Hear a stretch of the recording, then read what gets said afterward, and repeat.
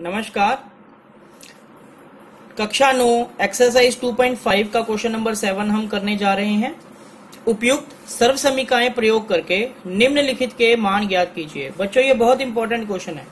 कई बच्चे क्या करते हैं 99 का क्यूब मतलब 99 नाइन इंटू नाइनटी नाइन उसको गुना करने बैठ जाते हैं और वो क्वेश्चन बिल्कुल गलत है।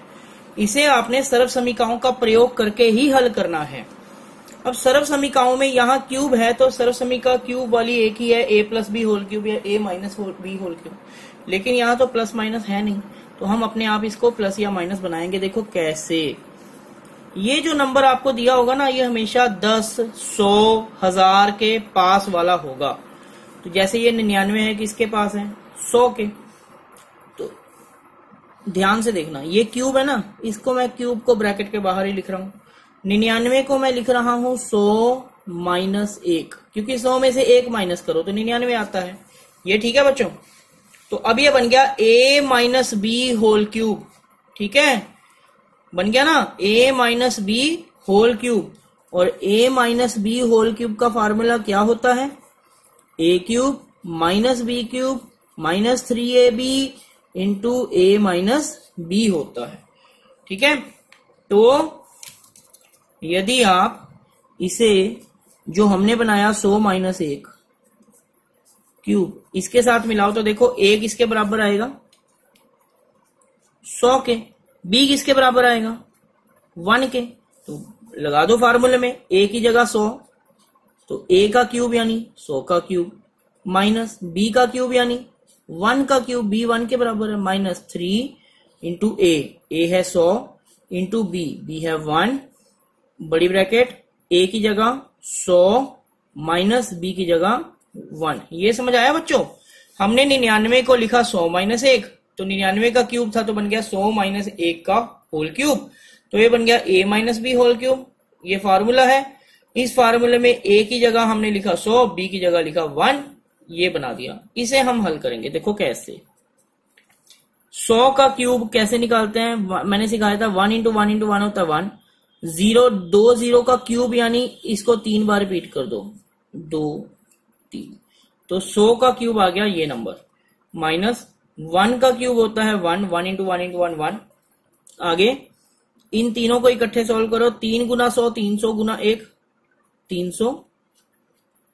आगे ब्रैकेट में है, सौ माइनस वन ठीक है?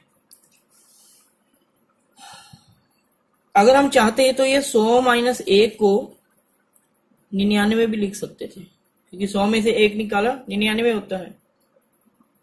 राइट क्या नहीं? हम्म, कर सकते थे। चलो। दोनों ही तरीकों से कर सकते हैं। अब ध्यान से देखना। इस नंबर को ऐसे लिख दो। तीन, चार, पाँच छ माइनस वन माइनस तीन सौ निन्यानवे से गुना हो जाएगा। इसके पीछे दो ज़ीरो है तो दो ज़ीरो लग गए। नौ तिया सताइस हासिल आया दो, नौ तिया सताइस और दो उनतीस अब इसमें से माइनस वाली रकमों को अलग प्लस कर लो। उनतीस हज़ार सात सौ में एक प्लस किया तो आ गया उनतीस हज़ार सात सौ एक। उसे हम इस रकम में से माइनस कर देंगे। ये है एक, दो, तीन, चार, पाँच छ इसमें से माइनस करना है उनतीस, सात सौ एक। इसे माइनस कर दो। दस में से एक गया, नौ। यहाँ बचा नौ। नौ में से ज़ीरो गया, नौ। यहाँ बचा नौ। नौ में से सात गए, दो। नौ में से नौ गया ज़ीरो नौ में से दो गए, सात। और यहाँ बचा नौ। तो ये आ गया nine seven zero two nine nine तो देखो बच्चों, निन्यानवे का जो क्यूब है वो ये इतना आता है, लेकिन हमने निन्यानवे को निन्यानवे को निन्यानवे से गुना करके नहीं देखा, हमने सर्व समीका का प्रयोग करके इसे निकाला है, यही इसको करने का सही तरीका है।